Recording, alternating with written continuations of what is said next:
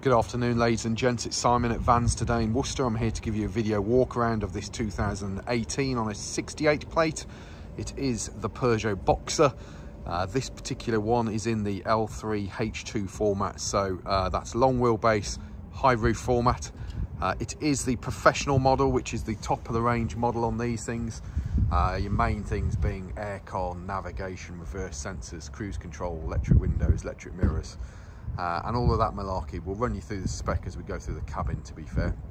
Uh, it is a one keeper from new van. It has covered just 54,000 miles. It's all warranted miles with it as well. This particular van I think is in great condition for the age and the miles.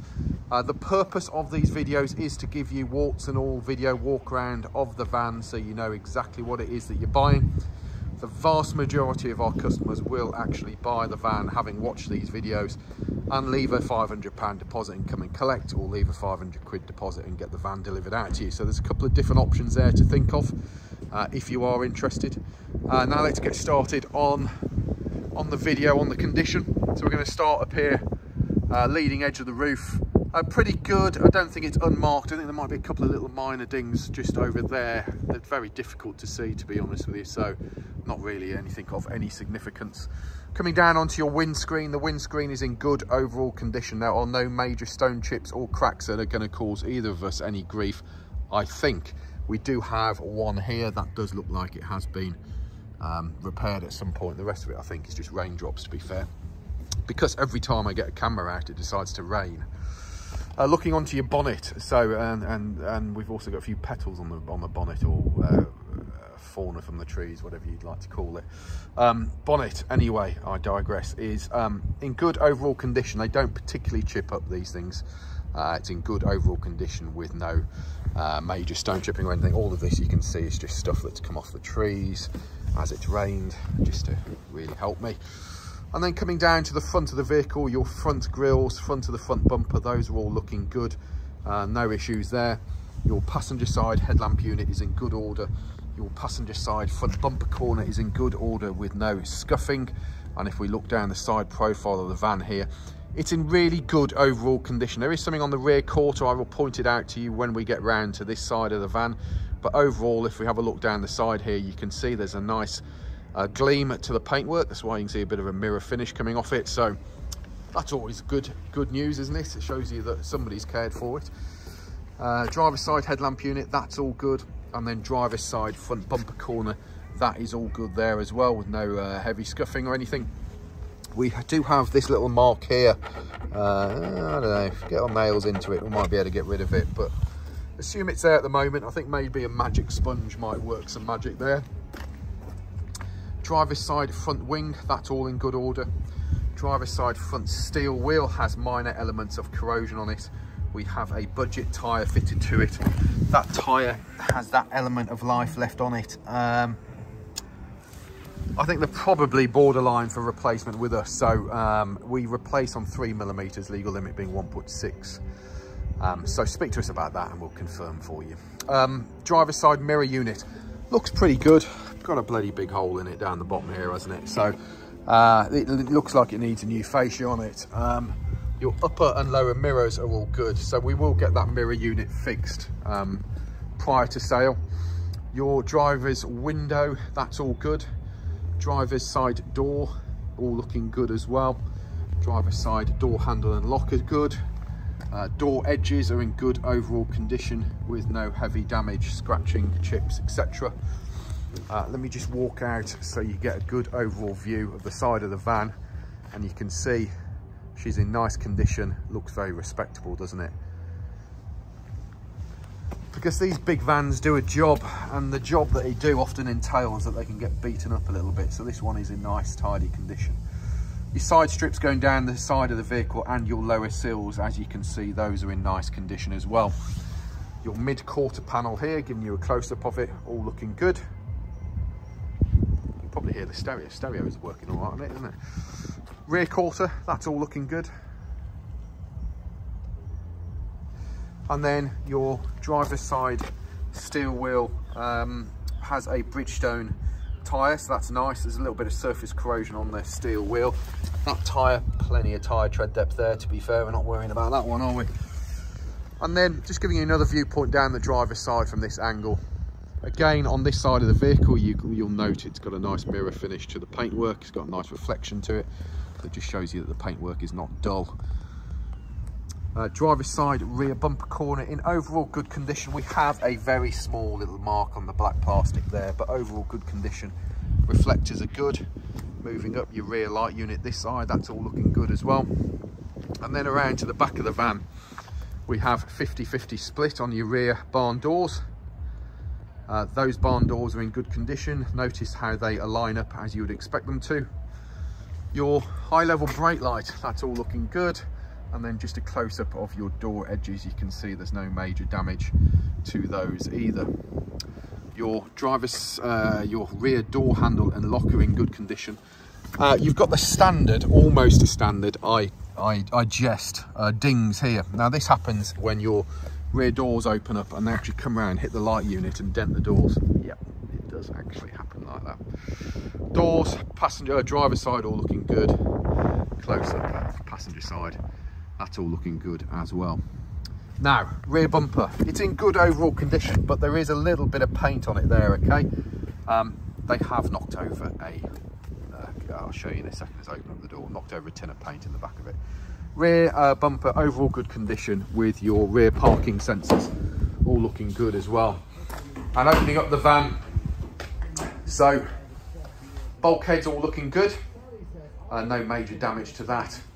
We have a look down the sides of the van, your um, ply lining kit has done a job, but it's still in good condition flooring, it, looks a little bit damp in here at the moment because they have been in here cleaning it, so um, they do scrub the floors. Um, uh, but yeah, those are, those will dry out. We put the dehumidifiers back into them to dry them out.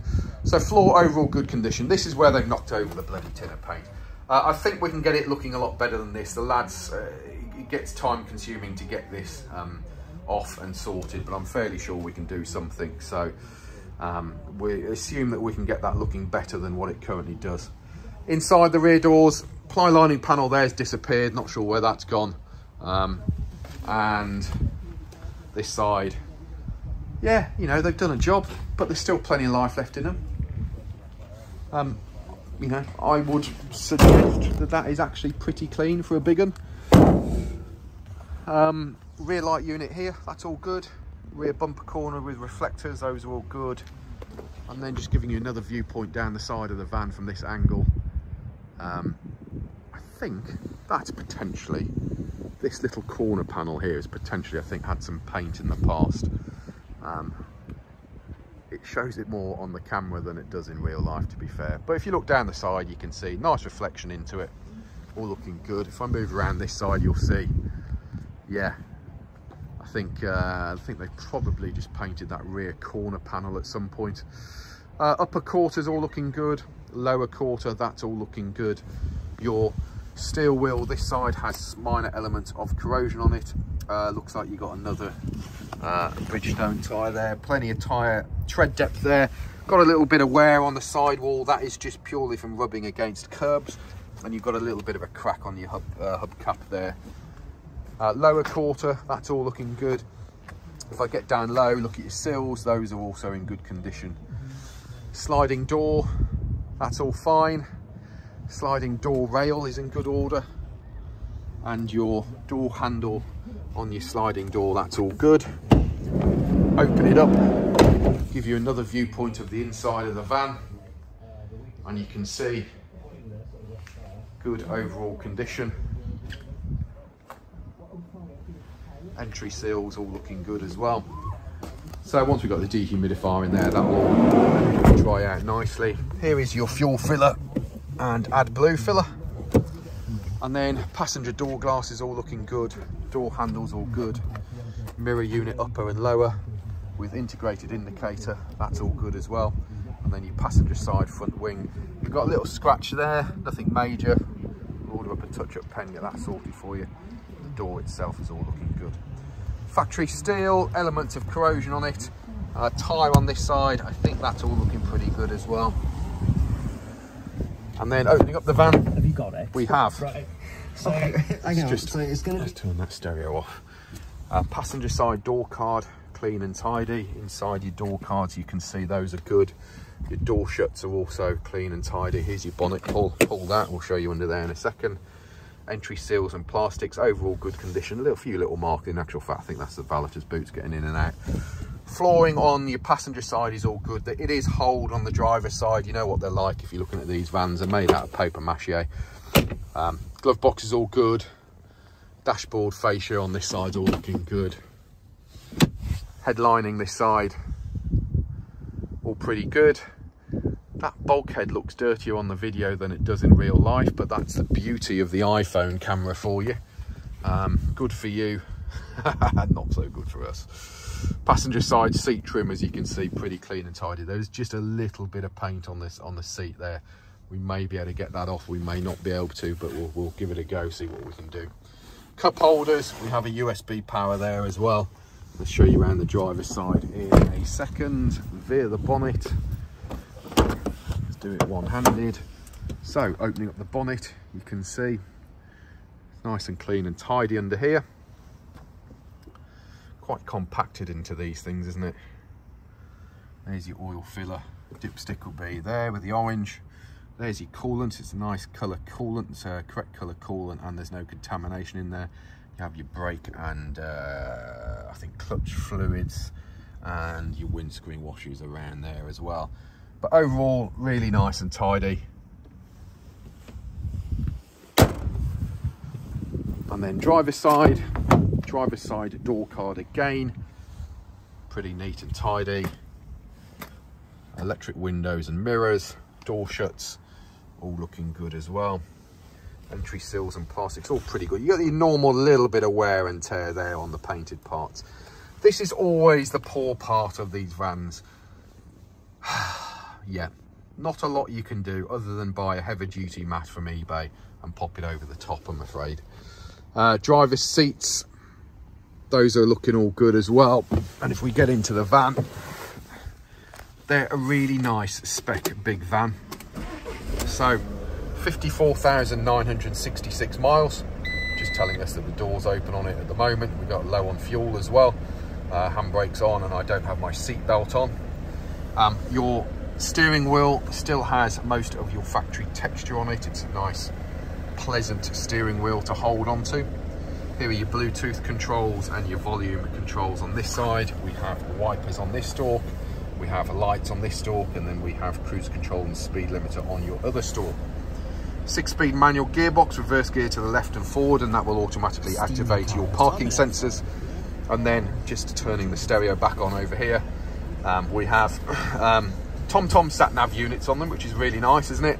Uh, we have Bluetooth telephone and Bluetooth music um, and I think you have yes you do. You have DAB FM and AM oh, CD player remember those? Welcome back to the 1990s um, and then air conditioning down here.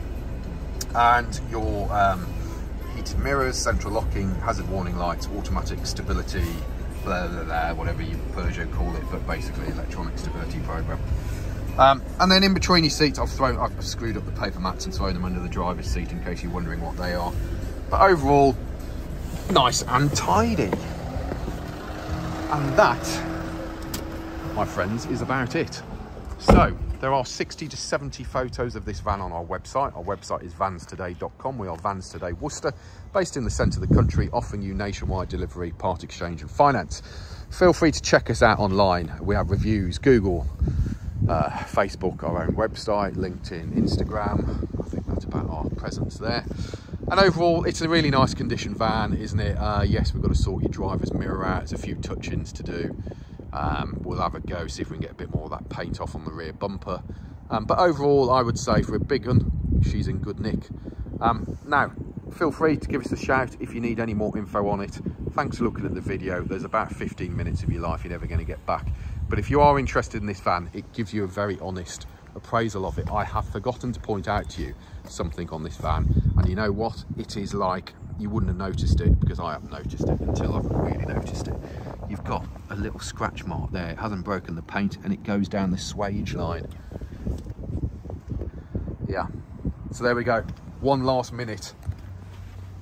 Um, something to point out to you. There we go, folks. 15 minutes. Boom, done. Give us a bell. Cheers, bye.